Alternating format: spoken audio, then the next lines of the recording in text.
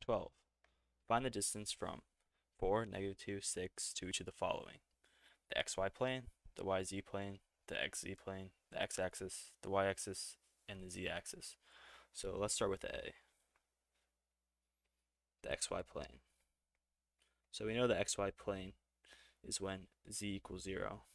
So we can write it kind of like x, y, 0, and x and y can equal anything. They can equal 1, 2, 3, 4. They're not bounded at all. So with this in mind, we can compare this to our point 4, negative 2, 6.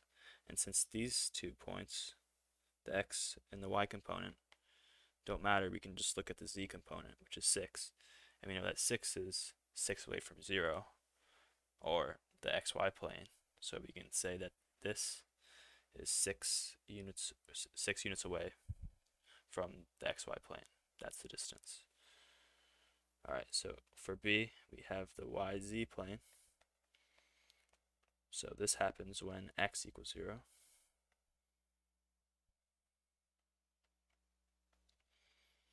And y and z, as before, are can be any points, doesn't matter, as long as x equals 0, it's on the yz plane. So compared to our original point, we can see that these two points don't matter at all. So we just want to look at the x component, which is 4, and 4 is 4 units away from 0, so that's the distance 4. Say 4 units because it doesn't specify anything else. C, we have the xz plane. And that happens when y is 0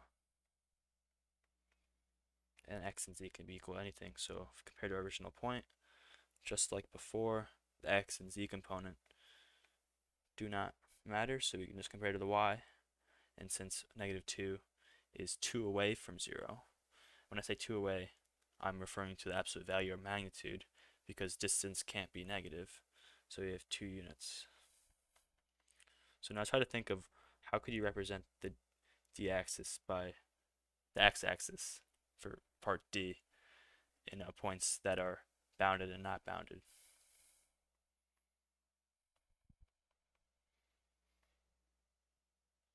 So if you got that x was bounded, not, not bounded, and the y and z components had equal 0, you got it right.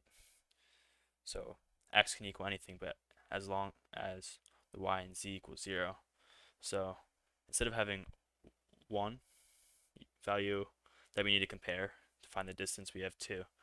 So this requires the, the formula, distance formula for two, two components, x minus x1 squared plus y minus y1 squared. And these x's and y's don't correspond to these. Well, I can make them correspond. Instead of being x, we can just make this z. But these just represent two points that are away. So we have the 4, negative 2. Let's Let me do this in different color. Let's do this entire problem in different color.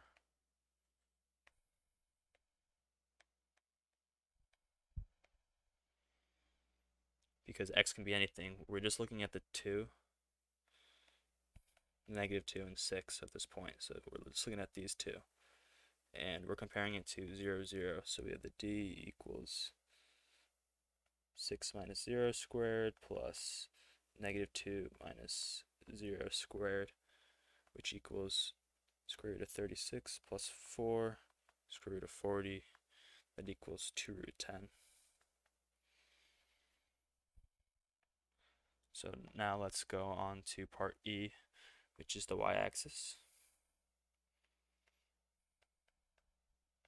and the y-axis can be bounded by 0, y, 0, y being any point, and this creates the y-axis. So just like earlier, we use the distance formula for x and z.